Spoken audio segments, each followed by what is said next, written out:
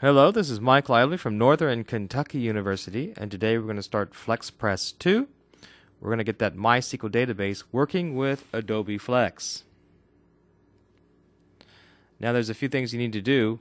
Uh, the MySQL database and WordPress. We'll be working with WordPress today, and you we're going to import WordPress database to our local server, and we're going to get Flex PHP ready. Now, you're going to want to get WordPress up and working and you need to watch one of my tutorials on open source software up fast with SiteGround. If you don't have a SiteGround account, uh, they're extremely inexpensive. Go ahead and get one. If not, if you have your own server and you want to use that, you can do it the hard way.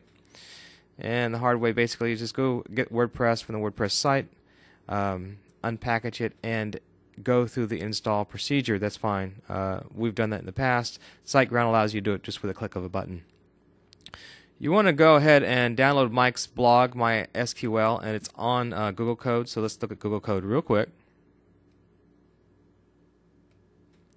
So if you just go to downloads, there's my blog. So if you don't have WordPress running right now, no biggie.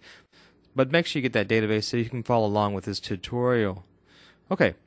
Uh, finally, you want to make sure you've watched uh, two YouTube videos on installing WAMP and creating a MySQL database and PHP MySQL Flex 3 client server application.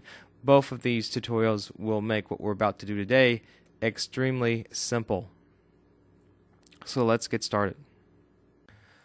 So last time we exported a MySQL database for WordPress and you can actually go and get that MySQL database if you want to use my example from Google Code. So go to downloads and download the MySQL database for WordPress.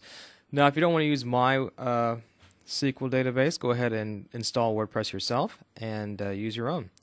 And once that's installed, let's go ahead and get that into our local WAMP server. Now, if you look at the bottom of my screen here, I have the WAMP local server running. If I click on that, I want to click on, move that over a little bit if I click on that, I want to click on PHP My Admin. And what I want to do is go ahead and import this database. So, the first thing I want to do is create a database. So I'll call this WordPress and hit create. And we see we have a database right here with zero tables. Let's go ahead and import the uh, Mike's blog database. So hit import. And let's navigate to that database. And click on that and click on open. Let me size this so we can see everything.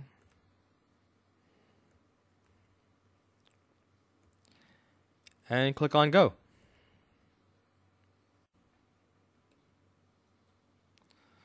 And so now you can see that we've imported the database. Here's the 14 tables, and we can go now to Adobe Flex and get Flex PHP ready. So we're back in Adobe Flex and there's a little bit of housekeeping we need to do here. Notice that we have three projects that are open. We want to close these projects because projects do absorb system resources. So let's close these. So I can click and select them all. And right click and hit close project. And now let's open a new project. Click new project. I'll just call this my uh, FlexPress proj. Okay, and at that point you want to make sure you select as your application server PHP. Go to next. So let's put in our web root, which is c colon slash wamp slash www and our root URL, which is http colon backslash backslash local host and validate that configuration. Great, let's go to next.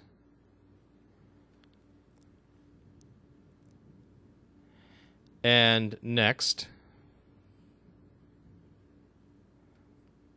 And finish. And so we're good. We've got everything set up for PHP. Let's go to the next part. Let's go to data and go create application from database. And let's create a new connection. Make sure you have my FlexPress project selected, and let's create a new select, new connection. We'll won't be very creative here. We'll just call it my FlexPress and you can go ahead and leave off description and auto connect since you will auto connect automatically anyway.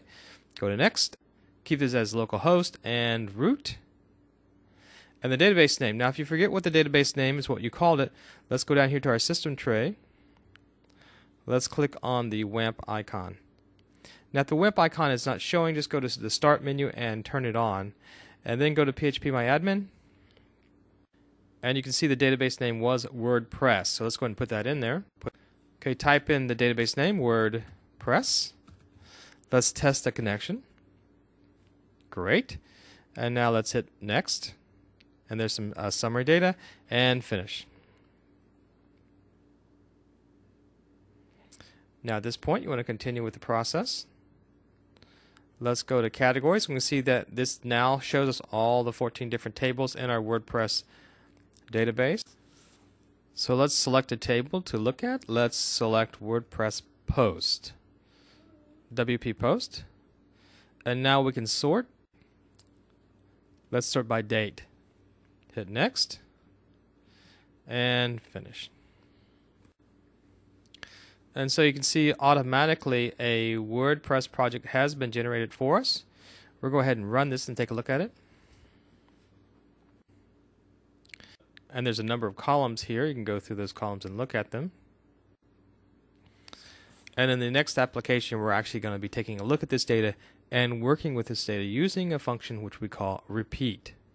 So we're going to move on from there. Now that we have everything ready to go, let's go back and take a look at the code that was generated. So if you look at the bin debug folder and you go to the WP post PHP document and right click and let's open that up with a text editor. You can see there's quite a bit of information here that was generated and specifically you've heard me say in the last video